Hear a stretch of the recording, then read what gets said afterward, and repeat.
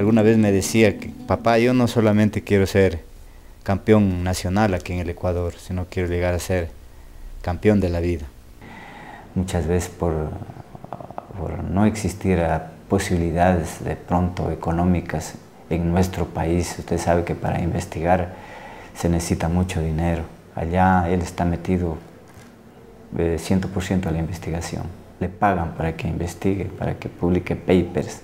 Al momento tiene muchas posibilidades, muchas ofertas de quedarse como haciendo investigación en las universidades americanas. La inmigración de elementos capaces y preparados se denomina fuga de capital humano o fuga de talento. Este fenómeno es característico de los llamados países subdesarrollados. Entre los inmigrantes no solo se van jóvenes con estudios profesionales, sino también trabajadores capacitados, en cuya formación el país de origen ha invertido considerables recursos.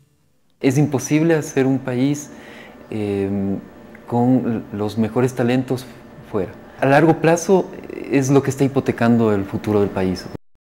Países latinoamericanos cuyas universidades estatales favorecen la educación gratuita pierden parte de su inversión en educación cuando sus graduados deciden irse. Una de las profesiones más afectadas por la fuga de talento en los países latinoamericanos es la medicina.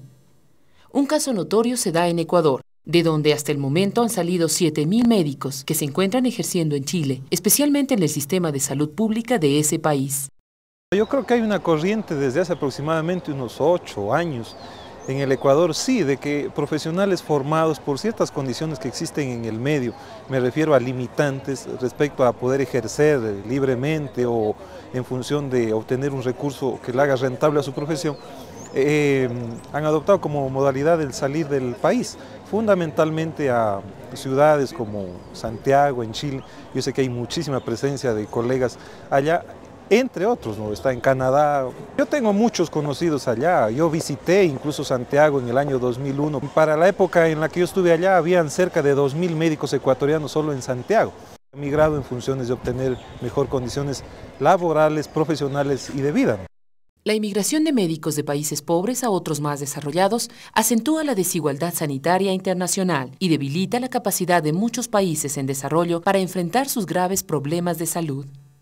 Las economías de las naciones más desarrolladas se convierten entonces en cazadoras de este talento al ofrecer una mejor remuneración económica, estabilidad laboral y seguridad social para el profesional y su familia. Esta habitación la que ha quedado abandonada prácticamente 10 años durante todo el tiempo que mi hijo Carlos Enrique ha estado estudiando fuera del país.